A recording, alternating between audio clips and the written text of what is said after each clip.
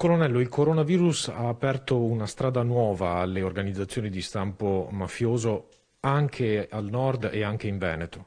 Il coronavirus corrisponde a una crisi economica generalizzata e quindi come tutte le crisi generalizzate eh, aprono delle importanti falle sul tessuto imprenditoriale ed economico. Dove vi state concentrando? Sono più fronti, appalti pubblici, finanziamenti dello Stato verso le imprese, ristori dovuti al blocco della produzione dell'attività imprenditoriale e tutta una serie di sussidi che si stanno predisponendo a livello centrale proprio per la ripresa del territorio. Il campanello d'allarme qui non è il fatto di sangue, state riscontrando ben altro con le indagini.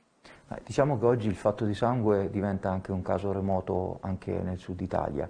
Qui i campanelli d'allarme sono dettati da questi trasversalismi che non di rado eh, rileviamo tra eh, imprenditori, eh, criminali, eh, professionisti e a volte qualche pubblico dipendente. Ci sono soggetti più spregiudicati di altri che cercano proprio la collaborazione in qualche caso. La mafia oggi è quasi esclusivamente business. Spesso troviamo eh, imprenditori che pur di salvare la propria azienda entrano a patti. Il danno più grosso probabilmente è il danno alla società, all'economia, perché quell'impresa che muove, si muove con capitali illeciti costituisce assolutamente un grave danno al meccanismo della concorrenza che eh, deve esserci necessariamente sul territorio.